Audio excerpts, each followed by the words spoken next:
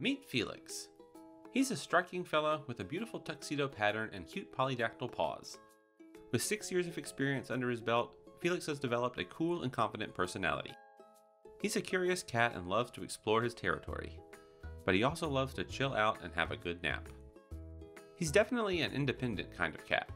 He's charming and playful when he wants to be, but he doesn't enjoy being handled too much.